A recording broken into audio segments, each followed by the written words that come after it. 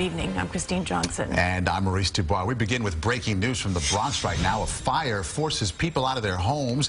Ten apartments in a five-story building damaged by the blaze in the Longwood section. It broke out between the top floor and the roof of a vacant unit that was under renovation. A neighbor told us she helped to direct firefighters to the flames. I says, there's no one there, it's vacant, you're going to have to break down that door. So then they say, are you sure? I said, yes, I'm quite sure.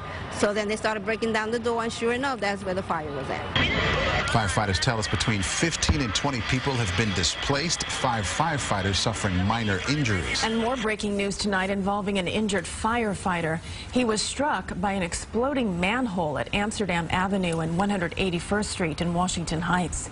The FDNY was on the scene after getting calls about several smoking manholes. We're told the firefighters' injuries are minor.